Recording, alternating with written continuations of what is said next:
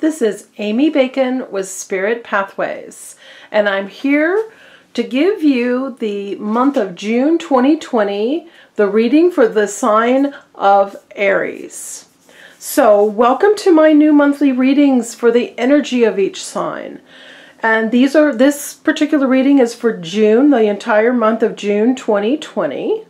And make sure to watch not only your sun sign, but also your moon and rising signs to get the complete energy for you this month.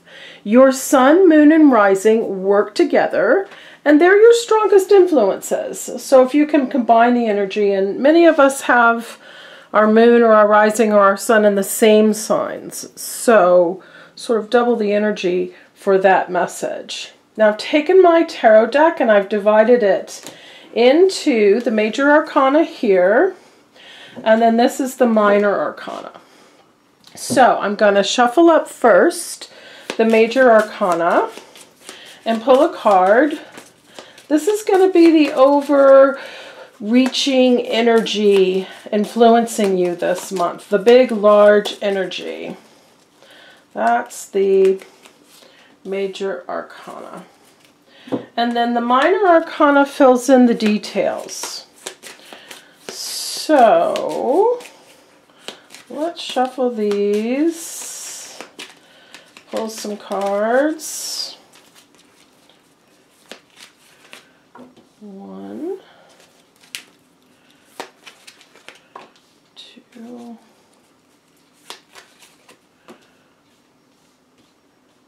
three.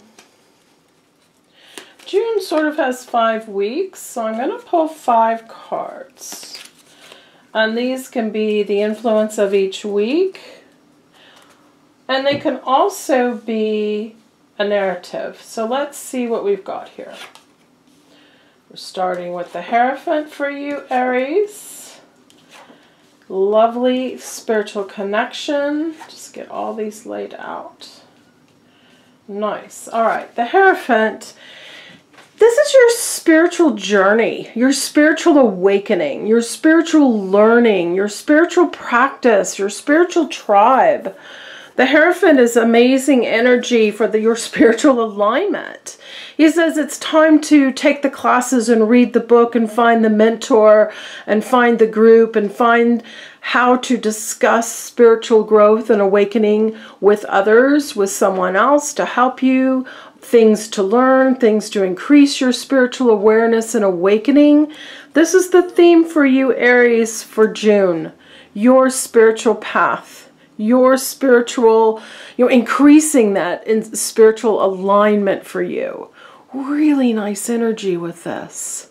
Now, let's look at the details. So they can work all together. I would love how the tarot tells a nice narrative. And you can also sort of look at these energies as each week. So we're beginning with the Nine of Pentacles.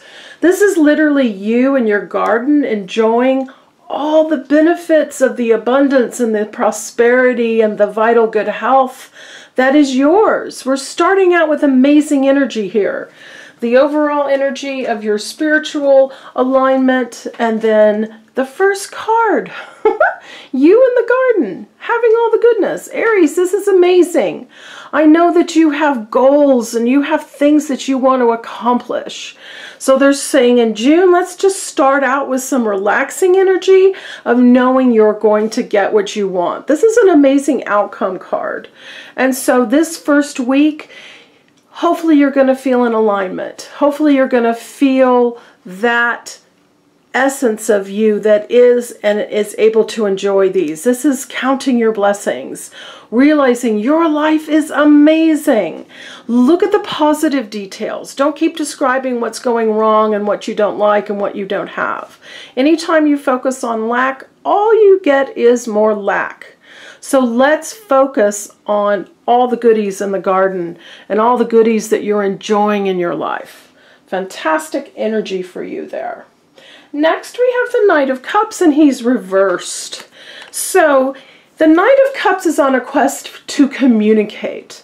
So, this is your ability to share your ideas and share your needs and, and express to others what it is you want to have happen. When it's reversed, it says you're not communicating, you're not sharing, you're not expressing on an intellectual level and an emotional level what it is you need and what it is you wish to accomplish. And Aries, that's so important for you.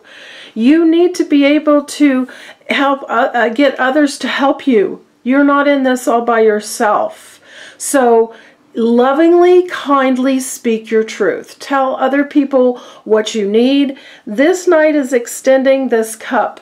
So what is it that you want to share with others? What is it that you want them to hear and understand about you that's going to help you move forward? The Knight of Cups, he's emotions, he's creativity, and he's so very much the spirituality, the Hierophant energy. So he's he's reversed, so it says you're holding away your ability to communicate to others. Or Opening that energy up. Then we've got the Seven of Cups. Aries, this is a this is a card you love because these are all these opportunities and they're divinely sent. So it's taking some of the pressure off. You don't have to figure everything out. This is not about you inventing the wheel and trying to figure out all the details. That cloud means it's divinely sent. It's already in alignment with you. Don't let you, you or your ego get in the way here, this shadow side. Let's keep that out of it. Everything in these cups is interesting.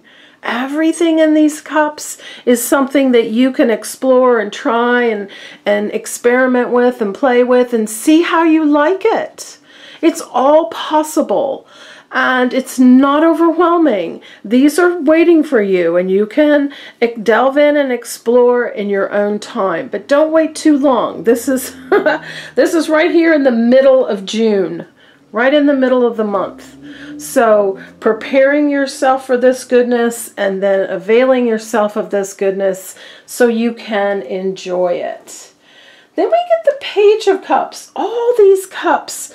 These are very um, connected to the Hierophant and the spirituality. They're also about relationship and you wanting perhaps a new relationship or healing around a relationship.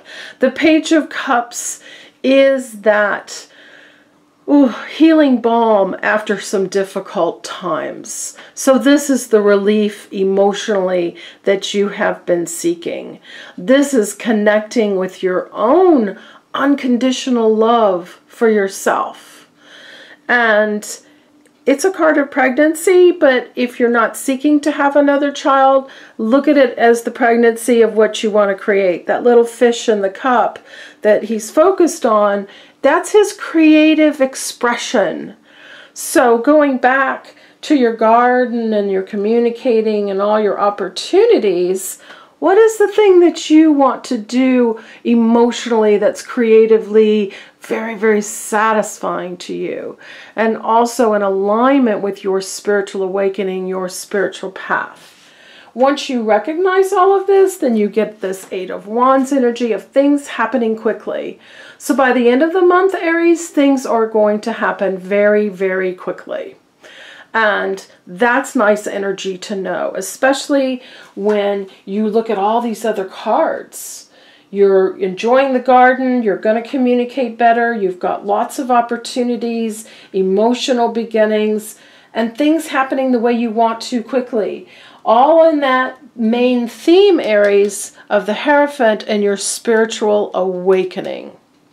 Beautiful energy there. This looks like a great month for you.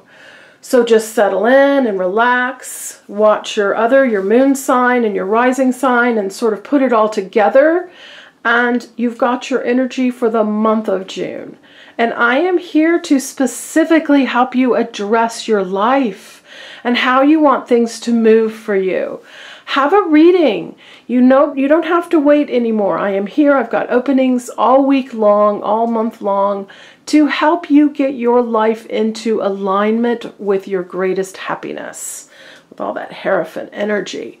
So all the information for your reading is on my website, spiritpathways.net.